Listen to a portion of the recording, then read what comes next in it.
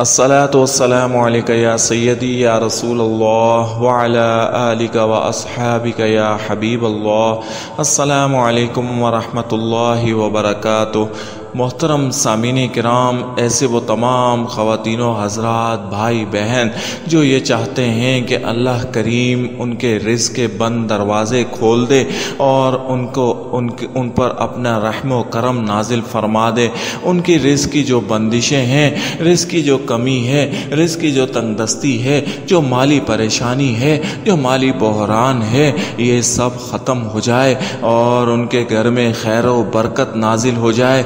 उन्हें अल्लाह बरकत ही बरकत अता फरमा दे और इसकी कमी तंगदस्ती और माली परेशानियों से हमेशा हमेशा के लिए निजात अता फरमा दे और बरकत ऐसी अता फरमा दे कि उनकी गुज़र बसर इंतहाई अच्छे तरीके से होने लगे और माली तौर पर अल्लाह के फजल करम से वो खुशहाल हो जाएँ और फिर उन्हें किसी और के आगे हाथ ना फैलाना पड़े, अपनी ज़रूरियात के लिए कुछ मांगना ना पड़े, सिर्फ़ अपने रब का दिया हुआ रिस्क उनके लिए काफ़ी हो जाए तो ऐसा मुमकिन है, ऐसा होता है। रब जिस पर अपना रहम, अपना फजल नाजिल कर दे, उसको फिर किसी और से कोई तलब नहीं रहती। वो रब का हो जाता है और अल्लाह का फजल करम उसके लिए काफ़ी हो जाता है।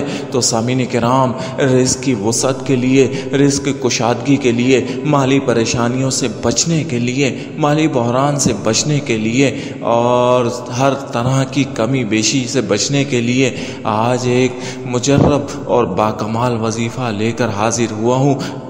बुज़ुर्गान दीन का अता किया हुआ इंतहाई शानदार और बाकमाल वजीफ़ा है कि पढ़ने वाला बहुत कुछ पा लेता है। कुशादगी मिल जाती है, खुशहाली मिल जाती है रिस्क में वसत ही वसत हो जाती है, घर पर रहमतें नाजिल हो जाती हैं और बेबरकती ख़त्म हो जाती है, कमियाँ भाग जाती हैं और ज़्यादतियाँ आ जाती हैं। तो सामिन कराम ये वजीफ़ा आपने पढ़ना है, मुख्तसर सा वजीफ़ा है मिनट का है, अपने लिए मेहनत करें, अल्लाह से मांगें, वही गनी है वो गनी कर देने वाला है वो ज़ात देने वाली है और बे इंतहा नवाजने वाली है, उससे मांग कर देखें, तरीके से मांगें, जो बुज़ुर्गों का बताया गया तरीका है, उस तरीके पर अमल करते हुए मांगें तो फिर देखें किस कदर आप पर रहमतें नाजिल होती हैं? तो सामिन कराम तरीक़ार ये है कि आपने ईशा की नमाज़ के बाद बावजू हालत में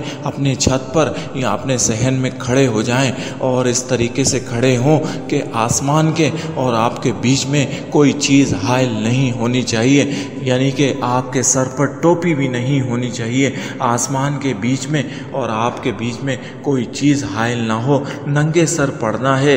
ये वजीफ़ा नंगे सर पढ़ना है और फिर यूँ पढ़ना है कि ग्यारह बार दुरुशरी पढ़ें, खड़े खड़े ग्यारह बार दुरुशरी पढ़ें, उसके बाद पाँच सौ बार या मुसबिबल असबाबी, या मुसबिबल असबाबी, या मुसबिबल असबाबी, पाँच सौ बार ये तस्वीर पढ़नी है, फिर ग्यारह बार दुरुशरी पढ़ें और फिर अपने हाथों को अपने रब के दर बारगाह में उठा लें, अपने मौला से मांगें, अपने और मेरे रब से मांगें रिस्क में वसत मांगें कुशादगी मांगें, खुशहाली मांगें, रहमतें मांगे, फजलो करम मांगें और खूब मांगें, जो मांगना है मांगें।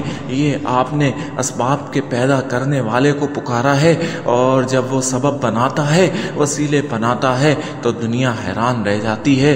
हर बंदा परेशान हो जाता है कि कहाँ से आ रहा है, कैसे आ रहा है। क्यों आ रहा है? नहीं, ये मेरा रब भेज रहा है। ये गैब से भेजने वाला भेज रहा है। आपको भेज रहा है क्योंकि आपने पुकारा है। उसको पुकारा है और वो अपने पुकारने वाले को खाली जोली नहीं लौटाता, खाली दामन नहीं रहने देता। उसके हाथ भर देता है, घर को भर देता है, झोलियाँ भर देता है और फिर दुनिया हैरान रह जाती है, परेशान रह जाती है। तो ये मुसबिबल इसबाब है जो रिस्क और बंद दरवाज़े खोल देगा और ऐसे ऐसे सबब बना देगा कि हर बंदा परेशान हो जाएगा। लेकिन आप जानते हैं कि उस रब ने आपको नवाजा है, जिसको आपने पुकारा है। तो इस वजीफ़े को पढ़ें, यकीनी कामिल कामिल के साथ पढ़ा करें और जब तक पढ़ें, जब तक खुशादगियाँ नहीं पा लेते, खुशहालियाँ नहीं पा लेते, बरकतें और फजल करम नहीं पा लेते, इस वजीफ़े को जारी और सारी रखें। नापाकी की हालत में ना पढ़ें सिर्फ़ पाकी की सूरत में पढ़ें और पढ़ते रहें। अल्लाह करीम से दुआ है कि रिज़ की बंदिशें खोल दे। हम सबको कुशादगी आता फ़रमाए और अपना खसूसी फजल करम नाजिल फरमाए। आमीन या रब्बुल आलमीन, आमीन या रहमान, आमीन।